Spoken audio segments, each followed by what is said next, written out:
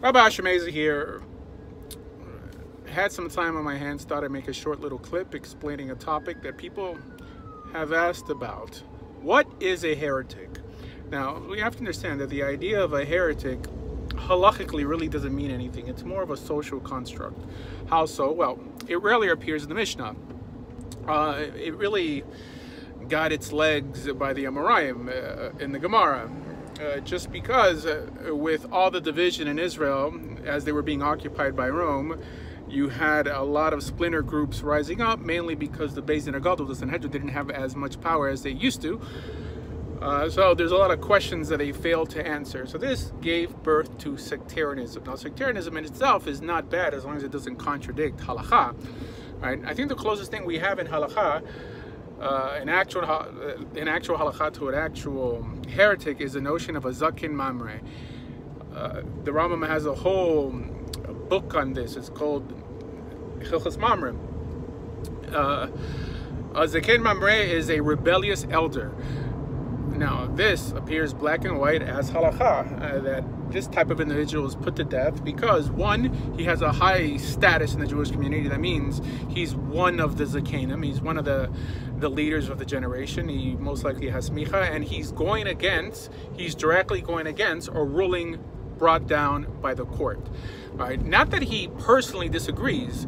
This is one thing that these uh, guys online who constantly call everybody heretic don't understand that there is no religious test in terms of belief in the Jewish world.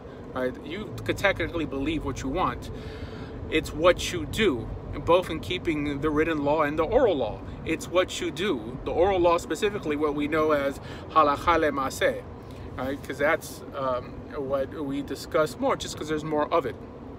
So there is no actual din as a heretic, no status as a heretic in Jewish law, but the notion of a zakin mamre, that someone who actually has a stature, uh, who can do damage um, in the Jewish world, teaches contrary to what the court instructs. So if the court, the Sanhedrin, tells Israel to go right, and they, he specifically not believes that they should go left, but publicly teaches others to go left, contrary to what the court says, that person is liable the death penalty.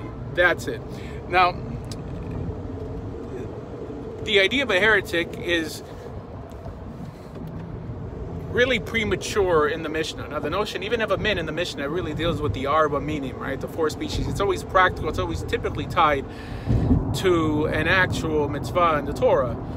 Uh, but anyways, when someone calls someone a heretic nowadays, I mean, honestly, what charge would they bring to the court, right? He's a heretic in what?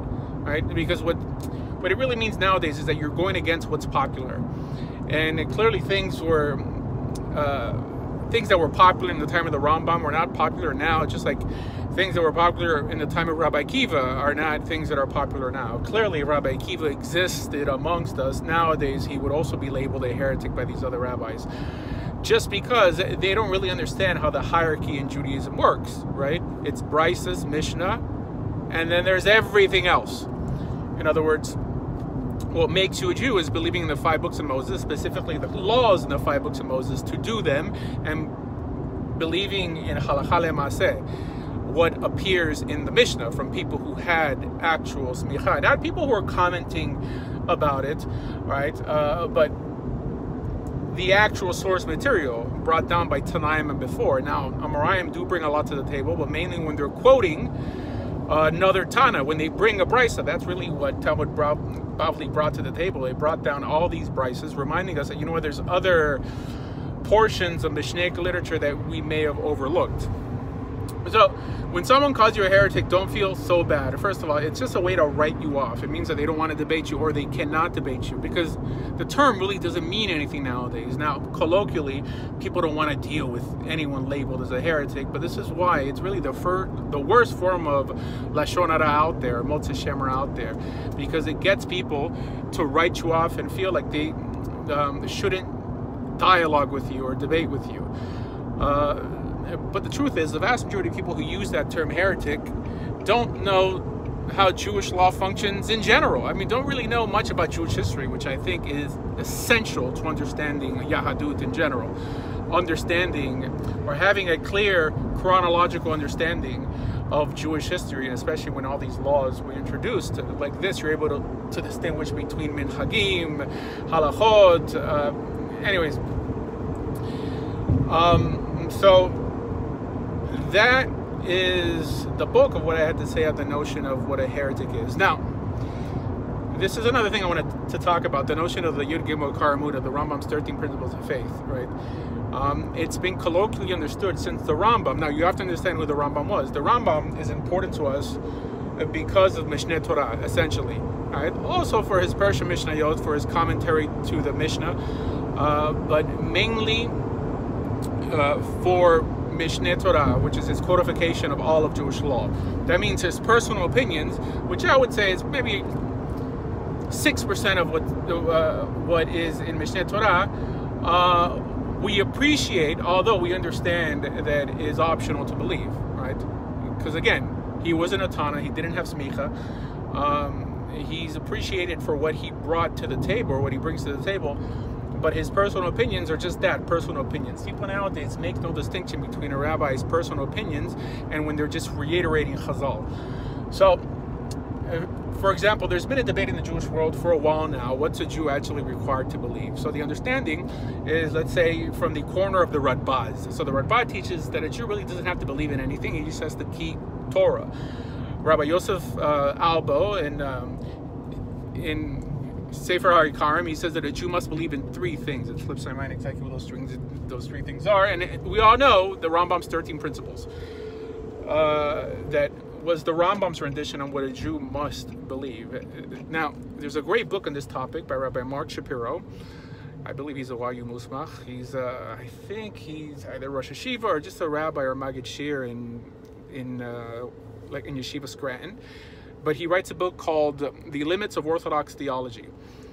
And there he brings down many sources of rabbis who disagreed with the Rambam's enumeration of, of any um, set of laws or, or ideas that people must believe in, because it was very controversial for him to make that statement. Now, it's not that we ridicule people who believe like the Rambam does. Heck, I believe, and I would say 99% of what he brings down there in Perek Chelek. And just to be accurate, actually, Rabbi David Bar had a whole video on this, that the Yud Gimel Karamuna that we have nowadays, which is pretty similar to what appears in Yigdal and the Ani Maamin, is not really what the Rambam wrote. That's an abridgment that actually nobody knows who compiled.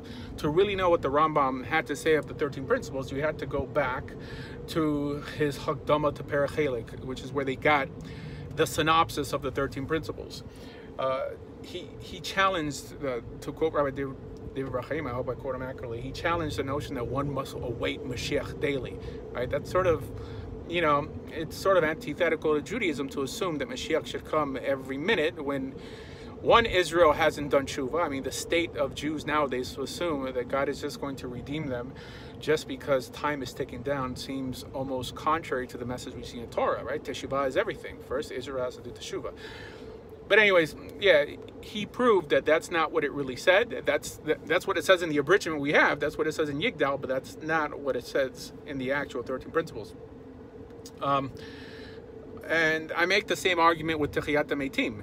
What is is brought down as Techiyat Meitim, if you understand it contextually as the Rambam taught it, it is not what people actually believe nowadays regarding Tehiyat Meitim, the resurrection of the dead. According to the Rambam, first of all, the Rambam was accused first of not believing in the resurrection of the dead, which is why he had to write a whole treatise uh, saying, yes, I do believe in it, right? Uh, almost giving people what they wanted to hear, because he excludes it from Hilchot Melachim, where it should appear in Mishneh Torah. I mean, he slightly mentions it in Hilchot Teshuvah, but chronologically, where it should appear, alongside the laws of Mashiach and the end of days and all that stuff, uh, the Rambam excludes it. So when he says, sure, I, I believe in it, he basically says, I believe in the resurrection of the dead and the way that people resurrect just to die again, which is basically contrary to what everyone else believes, right? The Ramban teaches that it's a perpetual resurrection. Similar to Mashiach, the, the Rambam also believes that Mashiach will eventually die and his kid will take over and on and on, and it, this is still conditional. Right? If uh, Israel screws up again, they're going to Galut again. That's contrary to what many rabbis teach about Yemot HaMashiach, and it's perpetual, it's never going to end. This and that. that means God's essentially going to give everyone a, a lobotomy that they won't be able to sin anymore, which be the only way that according to Torah, we would remain in, in, in any perpetual redemptive state. But anyways, this shows that even with the notion of Techiyat Meitim, the resurrection of the dead on the Rambam, it's not as clear as the way people teach it nowadays. So it, it's easy to say, oh, well, you're going against the Rambam's 13 principles. But they themselves are actually going against it in many different ways. Not just the 13 principles, but the Rambam in general, right? If the average Kabbalist, who let's say would point his finger at me and say, oh, well, I'm a heretic because I happen not to adhere to what this Gadol said, or in particular the Rambam, you know what? That according to the Rambam, virtually every Hasid, every Kabbalist, I mean, for sure, every Lurianic Kabbalist would be held in contempt and as a heretic because uh, the anthropomorphic rep representations of God, of him having a leg, uh, an arm, a sense of humor. The notion of God even being a king is contrary to the Rambam, right? I mean, even though the Rambam himself contradicts himself, he talks about God living in a palace. That's also some sort of anthropomorphic understanding. Uh, in terms of limitations of God, why does the Rambam have problems, a huge problem with Trinitarians? It's because to split God into pieces is to limit God. What do you think the Partzufim and the Sefirot and the Atzilut and Tzimtzum, all these notions uh, would put you on the Rambam's bad list. Uh, people don't understand this. I think this is my strength when I do my debates. I bring up sources that are easily researchable, but that just people don't know about because people get tunnel vision when they study halakha. They, they, they typically hold by one rabbi or one gadol, and they think that if you disagree with that gadol, you're disagreeing with gedolei hador, like all oh, the gadolim nowadays. That's that's it's it's very short-sighted. It's actually not true, and it really shows that they just pick and choose as well.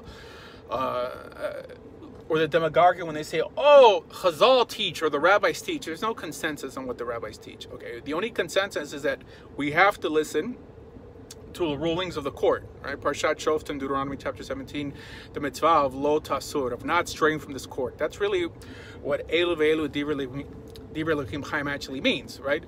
Elu Ve'elu, that all these opinions brought down by Tanaim who have smicha, that all these are the opinions of the living God because the understanding is that you can't stray from the right or to the left of what this court rules. Now, it's true, in the time of Hillel and Shammai, the the din was many times split into two. No one actually knew which way to go, but the understanding is that anyone who paskins outside of Chazal was considered, I guess to use your favorite word, a heretic or someone outside of the fold.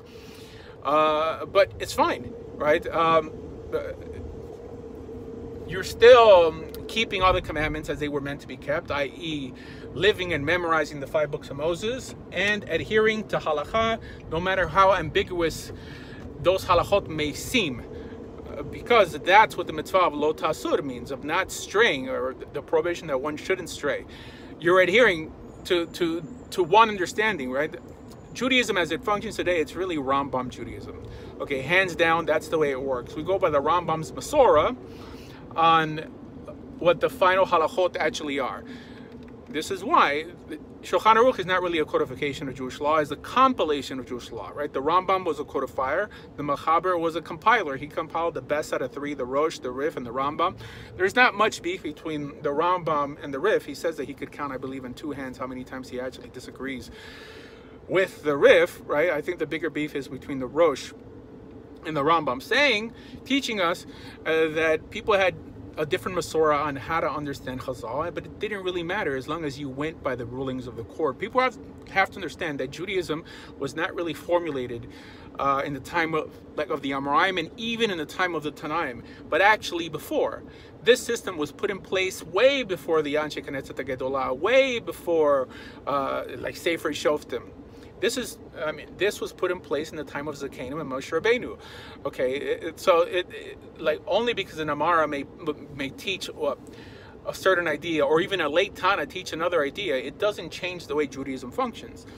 Judaism, in a nutshell, is the five books of Moses and halacha. What is halacha? Now, halacha has nothing to do with belief. It has nothing to do with folklore and legend. It, it, it ultimately deals with laws ruled into existence by the court ruled into existence by the court. That means, by definition, that it cannot contain anything metaphysical, because if the court had the authority to institute anything metaphysical, wouldn't they just institute that the Messiah should come tomorrow or that our enemies should be drowned in the sea? Of course they had no power. This is clear. The Rambam writes this in uh, the Lechilchas Sanhedrin, that the, that the power of the court only existed via voting, that they would vote things into existence the greatest Chachamim of the generation will get together and vote. Now, one error that many people make is that that power does not extend to rabbis nowadays.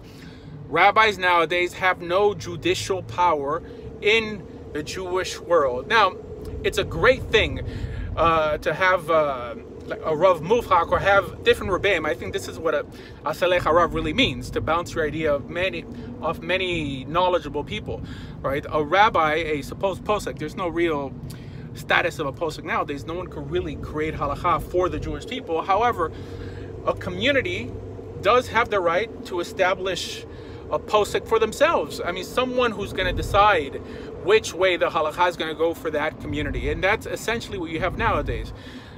If you live in Brooklyn and, uh, I don't know, that you have a problem with, with, with, uh, what David Cohen brings to the table, then I don't know, go to Monsey, like daven in a different shul, right? If you don't like the rulings of one community or the customs of one community, go to a different community. Now this is not really possible when the ruling came down from the Sanhedrin. The Sanhedrin ruled for all of Israel. So it's not all or nothing. This is why it's hard to explain this in a two-minute lecture. And uh, people really get stuck in what's called, to quote Thomas Sowell, first stage thinking and Judaism really can't be explained with little sound bites because those in the religious world who teach like I do won't say that that, that Rav Elyashiv had no power, that Rav Ovadia Yosef had no power. No, even though we make a distinction between actual smicha that ended uh, in around the beginning of the fifth century and what we have nowadays, which is really a form of smicha that was invented in 1538 of the Common Era.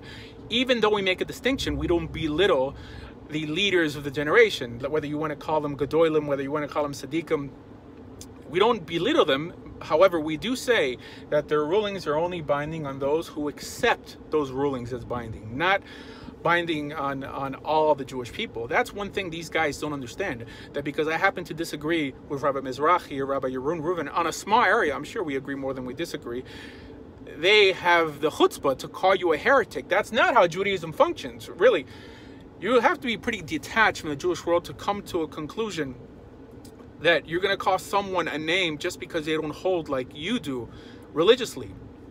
Judaism, especially people who lived in Israel, know how colorful and how diverse the Jewish people really are. There's different opinions, right? But I guess you don't pick that up unless you've lived in Israel. And that's probably the the biggest advantage I've had, um, or the thing that has equipped me the most to not just relate to the Jewish people, but to teach Torah is living in Israel. I lived in Israel for five years. I was in yeshiva for about two of those years, but I was a mekarev in Hebrew U, and I've met tons of rabbis and I've discussed my ideas with many other people.